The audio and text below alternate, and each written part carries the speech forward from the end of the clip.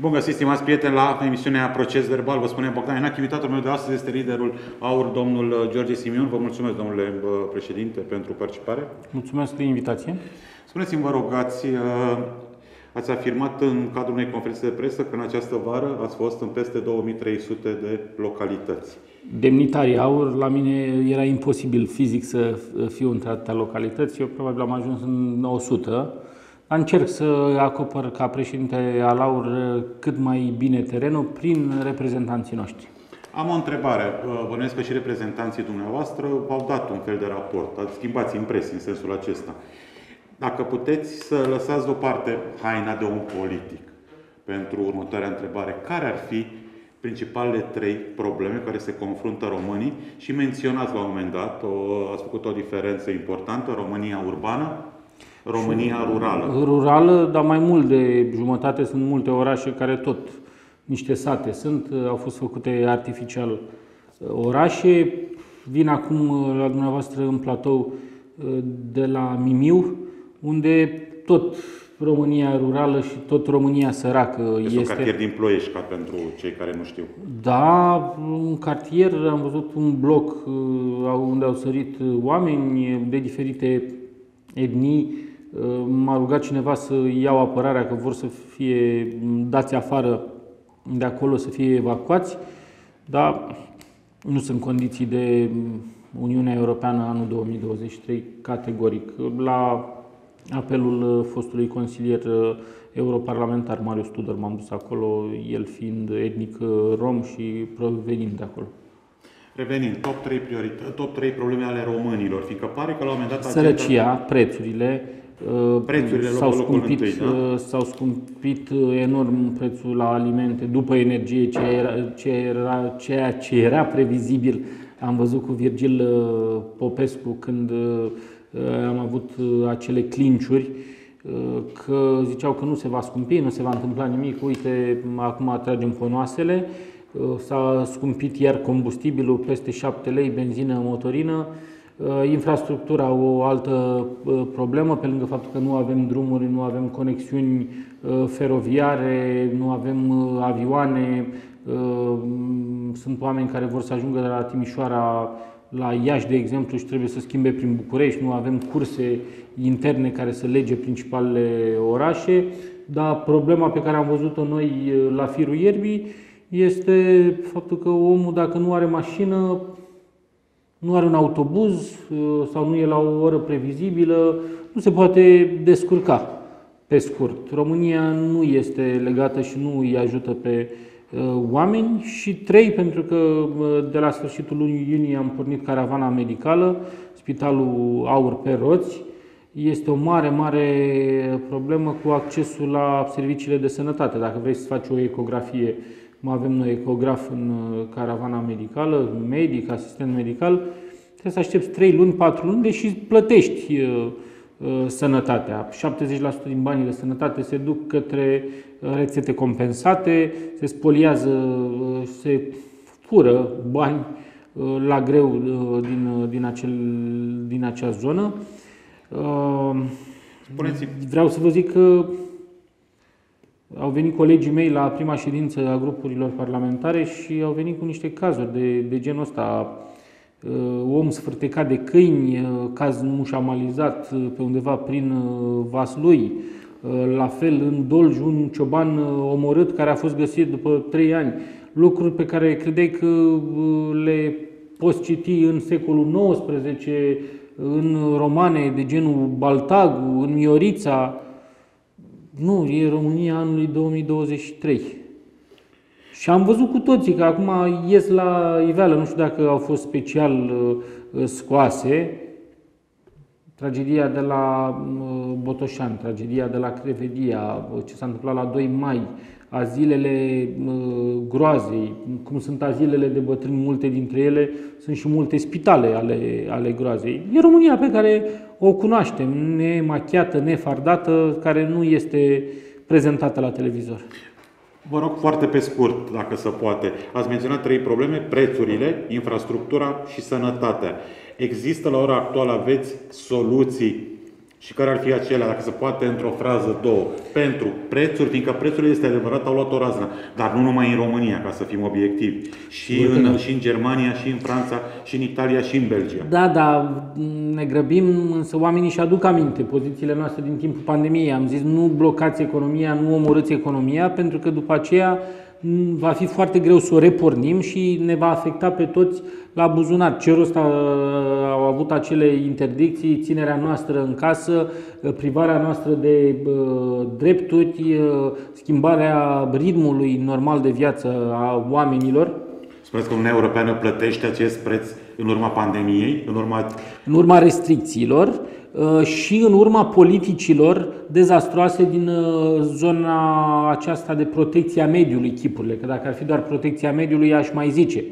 Dar uh, Green Deal, Fit for 55, m-am certat cu deputații PNL și USR la ultima ședință de Parlament pentru că au votat pe repede înainte o hotărâre, o opinie a României de adoptare a planului Fit for 55, care prevede că din 2035 în România uh, nu o să mai uh, avem uh, motoare cu combustie internă. Nu mai avem doar decât, nu mai avem decât mașini electrice. electrice. Ceea ce e o aberație. Nu o să se producă suficiente până atunci, o să ajungă piesele de la mașini electrice și ele să Uh, polueze și populația României este una săracă. Nu o să ne permitem, nu avem nici infrastructură electrică pentru așa ceva. Deocamdată. Deocamdată, sigur că e de dorit uh, ca să uh, aducem cât mai multe pagube prin prezența noastră aici pe Pământ. Cu toții iubim planeta și ne dorim un mediu cât mai normal Curat, de trăit, da. mai ales voi aici la Ploiești. Însă, Mulțumim frumos. să ajungi la uh, ideea că uh, poluează vacile, să ajungi la inepții, că nu mai producem nicio mașină uh, cu combustie internă din 2035, în condițiile în care avem pe glob India, avem China, Așa este, pare la un moment dat. O să ajungem să. Adică, tocmai ne-am împușcat în timpul pandemiei într-un picior, mai mergem și un tâc și un tâc, și acum ne împușcăm în al doilea picior. Și nimeni nu vede uh, aceste decizii luate uh, de la Bruxelles, nu înțelege care vor fi repercursiunile. Așa că stau și eu, poate uh, au început mai mult să mă creadă după pandemie, după ce s-a întâmplat în domeniul energiei și zic opriți nebunia, pentru că va, vom ajunge rău de tot. Iar unele soluții care trebuiau luate încă de acum 50 ani, cum ar fi reducerea taxării muncii pentru la început pentru primii 5.000 de lei. Propunerea noastră e de 25% față de 47% în prezent. Ar permite să dăm un suflu uh, de mm, aer proaspăt firmelor românești, care aparent, conform declarațiilor primului ministru, ar uh, exista într-un paradis fiscal. Eu nu văd pentru firmele românești paradis fiscal. Poate vedeți dumneavoastră, nu știu, știu că nici uh, aici, uh, la Ploiești, nu umblă câinii cu colaci în coadă, poate la Buzău, dar nici acolo, poate la domnul Ciolacu, că acolo se fac COVID. M-a supărat de când a declarat că nu va face alianță cu AUR. Nu, păi ca să fac alianță cu AUR ar trebui să existe această disponibilitate din partea AUR și nu există. Uh, în noul PSD nu găsim parteneri viabili la nivelul conducerii. Infrastructura, din punctul nostru de vedere, câți kilometri se pot construi în patru ani. Nu o luăm ca pe o promisiune electorală, evident că nu suntem în campanie electorală, dar pe de altă parte spuneați că în laboratoarele AUR, în departamente, creionați, gândiți, uh, ca să veniți cu propuneri foarte clare, concrete. Există, există vreo, uh, vreo idee, apropo de autostrăzi, apropo există de doar uh, finalizarea cu constructori români a autostrăzilor începute deja Autostrada Transilvania nici acum nu e gata, a făcut cel mai uh, scump uh, viaduct Behtelu, pentru că eram, erau plătiți uh, în funcție de cantitatea de kilometri, nu erau restricționați în vreun fel. În patru ani de zile se poate lega Constanța de Nădlac?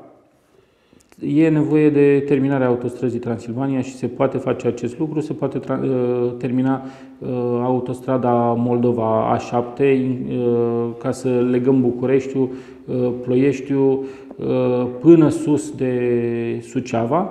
Mai greu va fi în patru ani să se finalizeze autostrada 8, care să treacă munții, să lege Moldova de Ardeal, dar lucrările trebuie începute pentru că în momentul ăsta lucrurile arată foarte rău pentru o lege asumată în anul centenarului și semnată demonstrativ ca instrument politic de președintele Claus Iohannis. Suntem în 2023, nu s-a mișcat aproape nimic cu autostrada 8.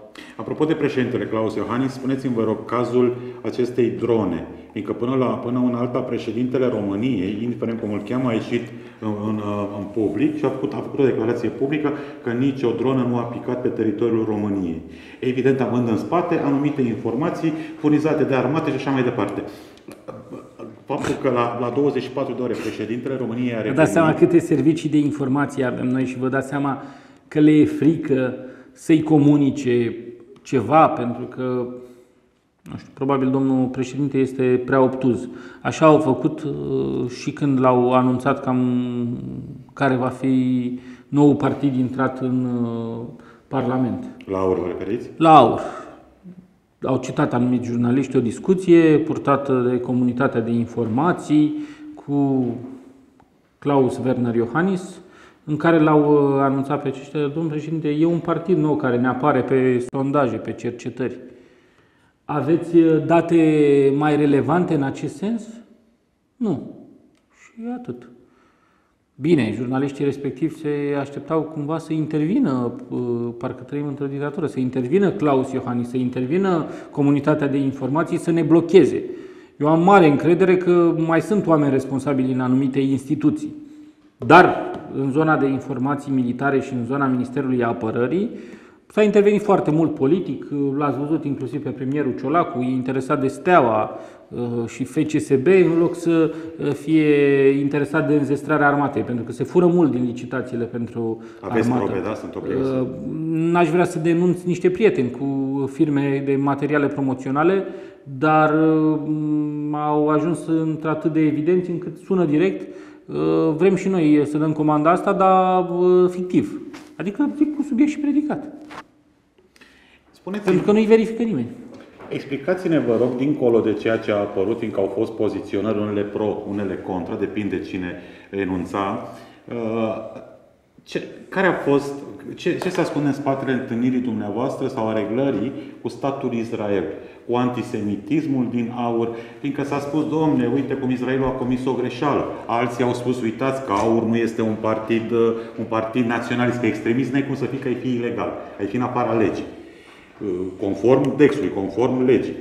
Ce se ascunde în spate? Chestiune... Ați, ați căutat dumneavoastră întâlnirea ca să păreți uh, așa... De când am intrat în Parlament, s-a încercat uh, în spațiu public denigrarea noastră, denigrarea parcursului nostru. S-a spus că vom dispărea, precum pe PDD-ul.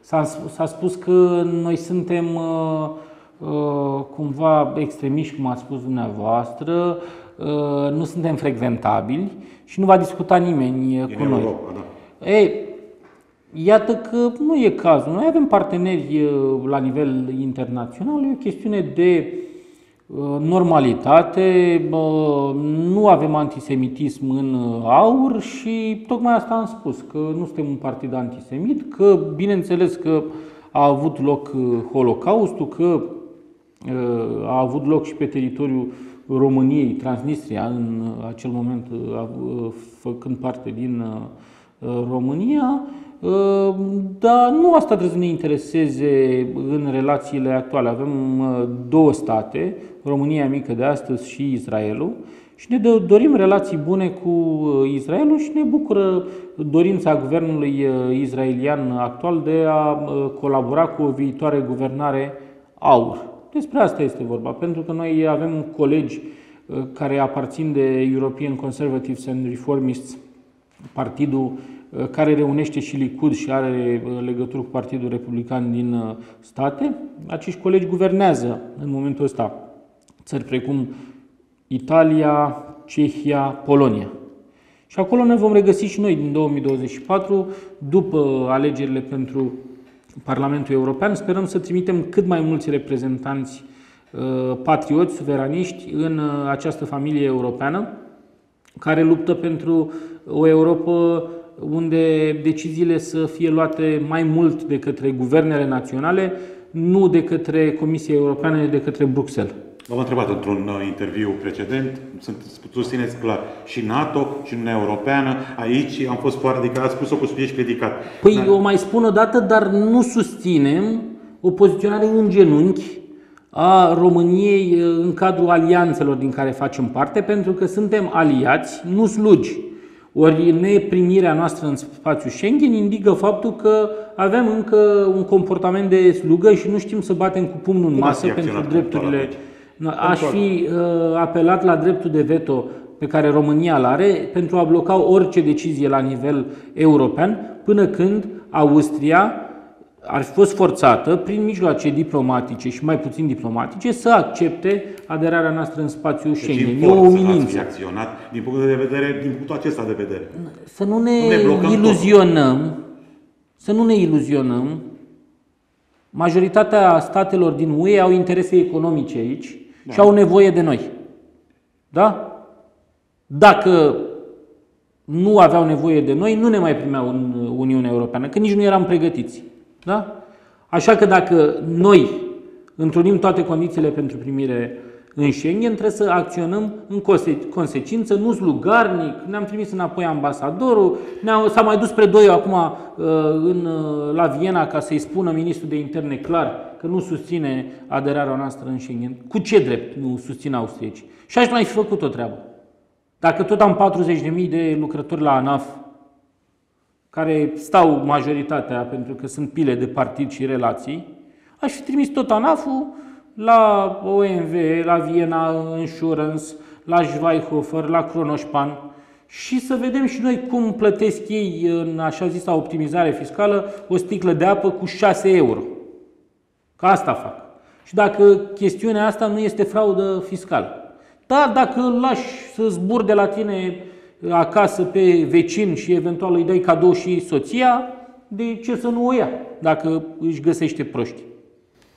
Uh, spuneți-mi, vă rog, domnule președinte, v-a surprins declarația președintelui uh, PSD, care a spus cu subiect și predicat că nu va face, nu va susține cât timp va fi dânsul președinte o alianță cu AUR și vă întreb acest lucru într-un context în care noastră a spus un pic mai devreme că viitoarea guvernare a României va fi asigurată sau va face parte și AUR din viitoarea guvernare. Va conduce. Va conduce. Va conduce viitoarea bună. Până la una alta, după alegeri, știți că e matematică pură. 12 plus 35, 47%, ne ajung, nu ne ajung. Nu vreau să spun că Vă rog. Nu contează mult, contează mult cine ia cei 35 da. de la sută și eu asta țintesc ca președinte al Alianței pentru Unirea Românilor, să fim primul partid al țării, primul partid în preferințele românilor. Mă lasă rece ce declară Marcel Ciolacu. Marcel Ciolacu asigură președintelui Claus Iohannis cel mai obedient guvern pe care l-a avut. Mai obedient decât guvernul meu, decât guvernul uh, Cioloș. Mai obedient decât guvernele Orban și Câțu. Execută Marcel tot ce primește de la Claus Iohannis, împreună cu ministrul apărării Angel Târvăr, cei interesați de FCSB și de Steaua. Revenind la întrebare, cu cine veți face alianță? Ca să aveți 51%. Adică altfel va rămâne doar un slogan al dumneavoastră, domne, noi... Cu românii. O să mergem, ultimele sunt alegerile parlamentare. Da? O să mergem uh, din casă în casă să explicăm românilor că nu e suficient că poate ne acordă încrederea lor și uh, ne plasează pe locul întâi la alegerile europarlamentare că trebuie să ne dea 50% plus 1 din voturi ca să nu se mai repete fabula Racu, Broasca și Cuștiuca, cei care au condus România în uh, ultimii 33 de ani. Alianță, stânga cu dreapta, uh, pune tu premierul, dă mie președintele, ia de aici uh, Ministerul Culturii, dă Ministerul Finanțelor. Trebuie o singură linie, o singură direcție. Și doar aur la guvernare. Asta vom face în primul rând. Mai departe vom vedea ce decid românii, vom vedea și numele viitorului președinte. Ultima întrebare. Spuneți-vă cum e la un an de, după ce v-ați căsătorit? E bine, mult mai bine. Ce s-a schimbat? Așteptam. Sunt mai așezat un pic uh, și sunt bucuros. Că a trecut anul sau că v-ați căsătorit? Sunt bucuros că eu eram un pic înspăimântat. M-am uitat foarte mult la familia Bandi când eram mic și uh, zicea al Bandi, niciodată nu te căsători și uh, aveam așa, e mult, e, e mult, e greu, e uh, tare complicat într-o căsnicie și mă bucur că a trecut un an frumos, nu a trecut un an greu. din Ce punctul vă ăsta spune de doamna vedere. când vede că lipsiți de acasă mult? Sau știa dinainte? Mai vine cu mine uh, de multe ori, așa în ton de glumă, uh, cei din, uh, de la un ziar care mai răspândește minciuni despre noi au dat o știre că e însărcinată Ilinca. Nu este, ne-am fi noastră dorit nu să, știați, să nu? fie. Da, așa, am, am, am văzut știrea uh, vineri, iar duminică deja discutau la unele televiziuni că nu sunt eu tatăl copilului, uh, că eu sunt prea mult plecat de acasă și mm, nu sunt tatăl copilului.